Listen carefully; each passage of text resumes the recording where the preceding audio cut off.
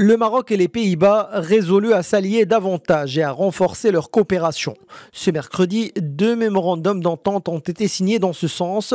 Le premier est relatif au développement et au financement de projets d'infrastructures publiques au Maroc. Le second vise à promouvoir la coopération dans les domaines des énergies renouvelables et des nouveaux carburants.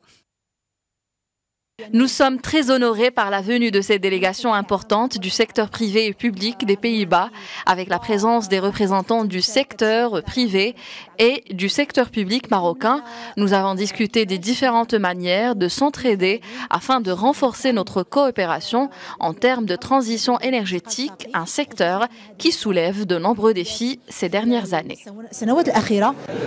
Nous avons tenu une importante réunion au cours de laquelle nous nous sommes penchés sur les énergies renouvelables l'hydrogène vert et la transition énergétique. Nous avons aussi signé des mémorandums d'entente entre le gouvernement marocain et des Pays-Bas pour travailler ensemble sur des projets en rapport avec l'eau et l'énergie. Le volet de la coopération tripartite au profit des pays africains amis a également été abordé, l'objectif étant de permettre aux entreprises hollandaises désireuses d'investir en Afrique de bénéficier de l'expérience et de l'expertise marocaine eu égard au statut privilégié du royaume au sein du continent.